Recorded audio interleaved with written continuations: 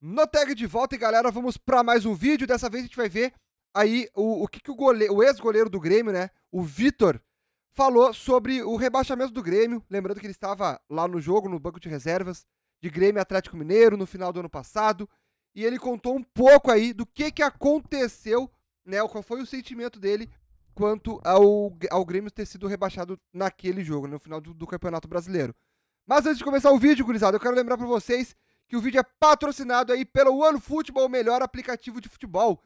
Cara, não baixou ainda? Baixa agora, tanto pelo Android como pelo iPhone. Você pode colocar a câmera aqui, ó, no QR Code, ou então baixar no link que está aqui na descrição. Baixa ali que vocês vão, vão ter tabelas de campeonato de futebol, de qualquer campeonato de futebol do mundo na palma da sua mão vai saber de notícias, vai saber de, do mercado da bola, muita coisa. Então, baixa aí para vocês não ficarem de fora, beleza? Vamos lá, gurizada, pra gente acompanhar o que, que foi dito pelo goleiro Victor sobre o rebaixamento do Grêmio. Que é, no último, Vamos lá. Bosco, que é, no último jogo, né, que, que acabou decretando é, a queda do Grêmio, né, aquele que o Grêmio acabou ganhando da gente, ali na, na última rodada do Brasileiro, eu estava no banco de reservas, né? Eu fiz o papel de auxiliar do Cuca, porque o Cuquinha, ele tinha ficado em Belo Horizonte. E uma das melhores partidas do Grêmio, né? Esse Grêmio Atlético Mineiro, meu Deus, velho, o Grêmio, cara, jogou demais, velho. Até o Douglas Costa aí fez uma baita uma partida. Esse jogo aí foi, foi brabo, eu tava lá, velho. Preparando a equipe titular para a final da Copa do Brasil. Nós tínhamos jogado a final da Copa do Brasil, ou iríamos. Lembrando, tá? os créditos vai pro João Bosco Vasco, é um jornalista que entrevistou o Victor. Enfim, só para dar os créditos aqui para o jornalista. Iríamos jogar a final da Copa do Brasil. E o Cuca falou: Vitor, vem comigo que você vai ficar comigo no banco para me ajudar, né? Fazer o papel de auxiliar ali. É, se tem uma coisa que eu, um lugar que eu não queria estar naquele momento era ali.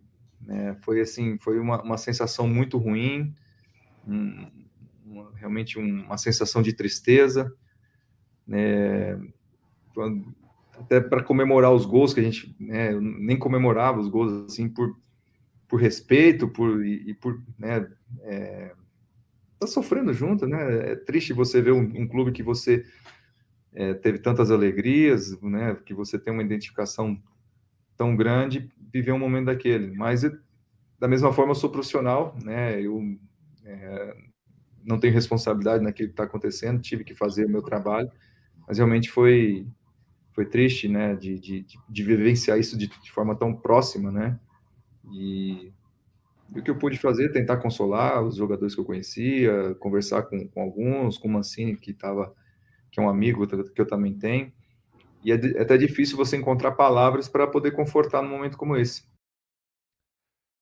Cara, o bizarro, o bizarro disso o bizarro disso é que o Victor não estava jogando. O, o, o, Victor não estava jogando no Grêmio nesse momento, estava no Atlético Mineiro e sentiu o peso, né? Sentiu o rebaixamento do Grêmio, coisa que alguns jogadores do Grêmio estavam assim, ó. Por mais que estavam vestindo a camisa, estavam só vestindo pelo salário mesmo, cara, porque não tinham nenhuma compaixão, nenhuma empatia pelo Grêmio, não, não sentiram nada. O, o salário ia cair depois do final do mês e era isso e pronto. Douglas Costa. Douglas Costa é um deles. Cara, mano, cagou pro rolê, mano. Totalmente. Tipo assim, o Grêmio caiu?